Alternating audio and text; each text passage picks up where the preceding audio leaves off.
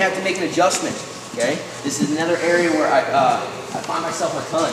This guy knows I'm trying to get to his leg. I've been, I've been sniping it the whole match, okay? So this time I'll make a little adjustment to get to his foot. I'm a windmill, okay? I'm a windmill from here. As I, as I try to get to this corner, I'm pulling Cody. He's still uh, got his foot forward. Here, I'm gonna take an outside step. I'm gonna take an outside step and I'm gonna windmill my arm, okay? And I'm, his hand's gonna touch the mat. That's the whole point. And as I windmill his arm, as I windmill his arm, his foot's gonna end up in my armpit. So I'm here. Look where I'm at. Right here. Now, freestyle guys, again, I can be shoulder in the butt, right to my legs, or I'm climbing up for my two takedowns.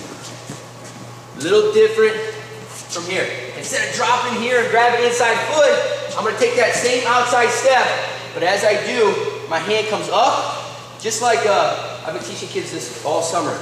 Just like you're swimming. Everybody do it real quick. Just like my hands coming over my head for a swim. That same motion. So it shouldn't be uh, like this, right?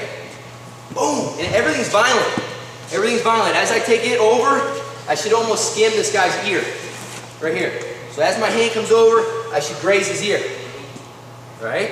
So as I take this step, my hand comes down. Everything's violent. I catch his foot in my armpit, I pull up. Here. All right? One more time. Again, good start, head, head, power tie zig, or I'm inside control. Here, I grab his wrist, roll it to my underhook. Boom. Take my outside step, this time here. Right here.